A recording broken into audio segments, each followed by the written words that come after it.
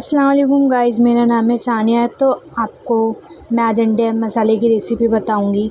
तो सबसे पहले हम अंडा बॉईल कर लेंगे अच्छे से। तीन कांदे, तीन टमाटर, मिर्ची दस बारह और कोतमीर थोड़ी लेंगे। कांदे को अच्छे से चॉप कर लिए।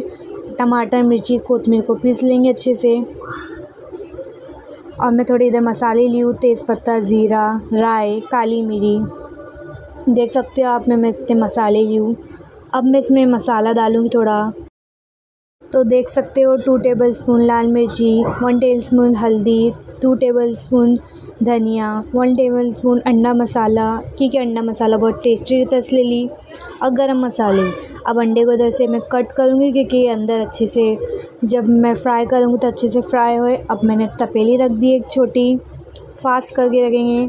थोड़ा सी ऑयल डाली, इसमें हल्दी, लाल मिर्ची डालूँगी और अंडे एक एक करके मैं डाल दूँगी। अच्छे से फ्राई कर लूँगी। देख सकते हो आप, मैं इतने अच्छे से फ्राई कर रही हूँ। अंडे फ्राई हो गए हैं। अब यही तेल में हम लोग एक वन टेबल स्पून तेल डालेंगे और जो मसाले लिए थे वो डालेंगे। अब इसके बाद हम कांदे डालेंगे जो चॉप करे हुए थ्री कांदे। जितना हम कांदे टमाटर डालेंगे, उतना टेस्ट आता है। कांदे को अच्छे से हम हल्का ब्राउन कर लेंगे।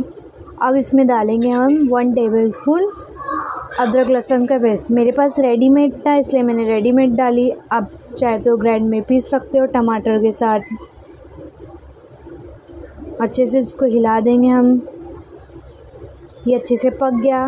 तो हम इसमें जो मसाले पीसे थे, टमाटर के, वो डाल देंगे इसमें। और अच्छे से इसको हिला देंगे। इसमें थोड़ा पानी डाल के हम, जितना हम टेस्ट के लिए मसाले में पानी डालते हैं, उतना टेस्ट आता है। अभी अच्छे से मैंने हिलाई और इसको पाँच मिनट के लिए मैं छोड़ दूँगी पाँच मिनट हो गए हैं।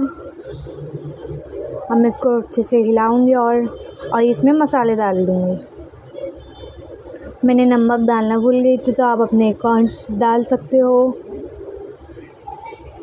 अपने अकॉर्डिंग होता है। अपने अकॉर्डिंग से डाल सकते हो मसाला नमक।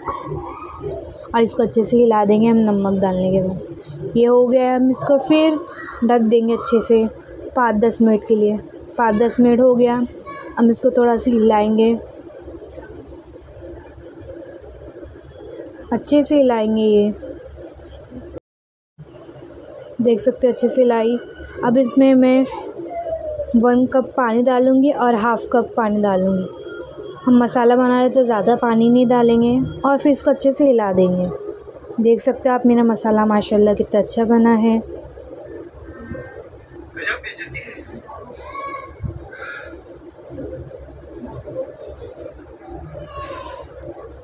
देख सकते हो, माशाल्लाह कितने अच्छे से उबल आ रहा है।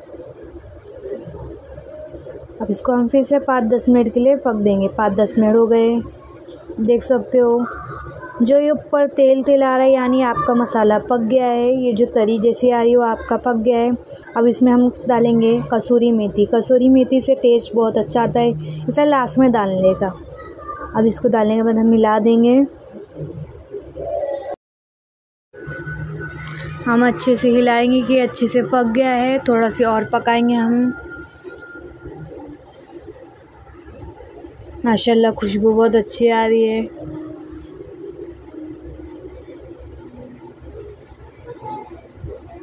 अब इसमें हम डालेंगे धनिया।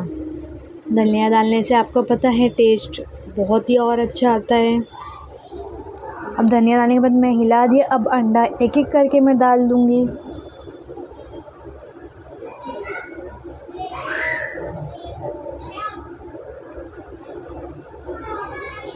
अंडा डालने के बाद मैं धनिया ऊपर से और डाल दूँगी, क्या और टेस्ट आए? देख सकते हो आप।